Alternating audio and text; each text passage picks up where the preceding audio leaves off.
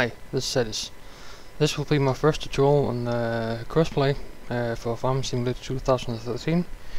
Um, this will be a series of tutorials I'm making. Um, it's actually a version 2, uh, this tutorial, since I already made this tutorial once, uh, where I showed how to make a smaller bug fix in uh, Courseplay.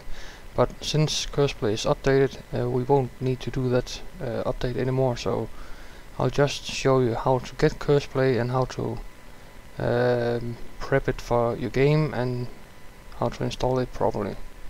So first what we need is to get Courseplay. Uh, so we'll open a web browser.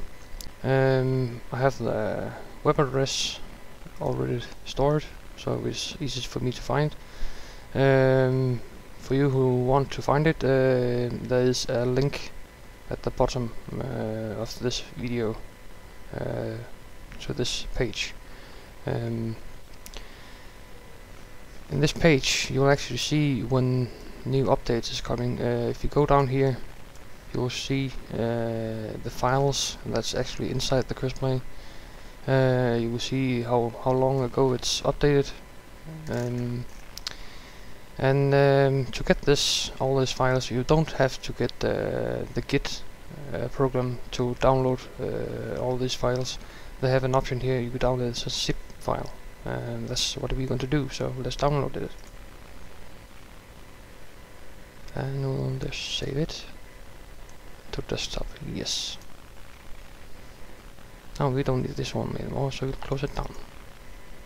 Now we have Courseplay here. Uh, we can't use it uh, properly yet since um, we need to extract it first. And the reason we need to extract it, I'll show you here, is that we have this folder. And um, all the files are inside that folder and we need those files to be inside the main side of the zip file. So all we need to do is mark all the files and right click and edit to archive. Uh, I'm using WinRAR uh, by the way. Um, there's a lot of other tools you can use. Uh, there's uh, WinZip, uh, 7-zip as well. Uh, they both do the same. Um, well, in the case of WinRAR, uh, we need to make a checkbox in zip, so make it a zip file.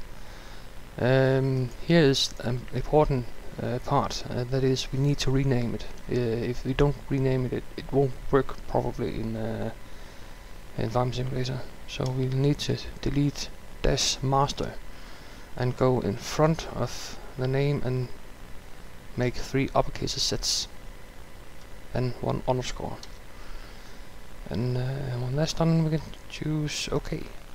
And we have a Civic Courseplay here. Let's drag it out here. Now, um, to install it, it is just to drag it inside the mod uh, folder. So go to your Windows, uh, new documents. Uh, in your document, uh, find My Games. In there you have uh, Farming Simulator 2013, and in there is a mod folder. And uh, to install uh, Courseplay, you just drag the zip file over, and voila. So let's check if this is working inside, in well, in the game.